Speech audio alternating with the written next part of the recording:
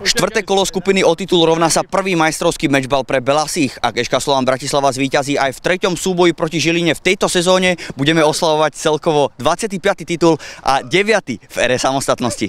That's nice, and uh, I think everybody in the whole club and everybody around the fans they're looking forward that uh, Slovan is going to be champion this year, and uh, we we have to win, and we want to win every game, and uh, I think we have to continue like we do now. Ten poslední krůček, kdy se zdá, že je maličkej, tak je vždycky ten největší, ale, ale myslím si, že máme na to takovou kvalitu v týmu, že, že nemusíme mít strach, že zakopneme. My sa budeme snažiť pokračovať v tej sérii vonkajšej, eh, v tých zápasoch a hlavne v tých eh, víťazstvách, ktoré nás zdobili počas celej sezóny a pokiaľ sa nám to podarí, tak eh, dá sa povedať, že zavrieme ligu, skončíme, skončíme prvý, ale budeme musieť odviesť naozaj skvelú robotu najskôr na ihrisku, aby sme dosiahli aj úspech. Počas necelej hodiny sa vypredal celý hostujúci sektor a to znamená, že v Žiline by sme mali byť ako doma. Je to fantasticky, slyšel jsem to, no, že se to vyprodalo během hoďky.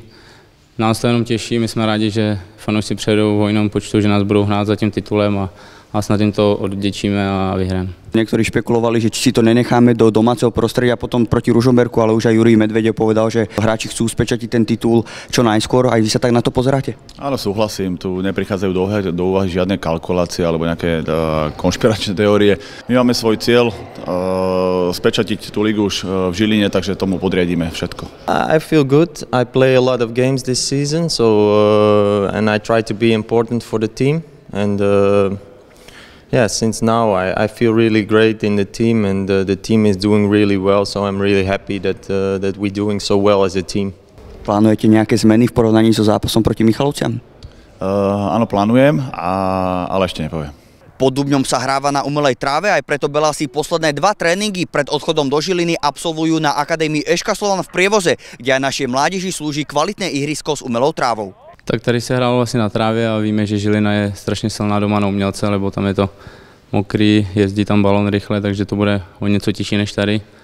Ale my se na to připravíme a, a chceme to potvrdit to vítězství tu, tak chceme vyhrát i tam. For me, it's it's it's better to play on normal grass, and I think all the players would like to play on normal grass. But uh, in Žilina, we we have to deal with it. Myslím si, že to bude zápas měsíce, že to bude, takže to bude určitě atraktivní zápas, bude to fotbalový zápas.